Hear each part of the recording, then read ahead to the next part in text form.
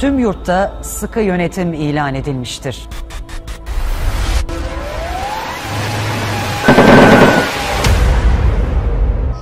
Milletimizi illerimizin meydanlarına davet ediyorum. Havalimanlarına davet ediyorum. Bizim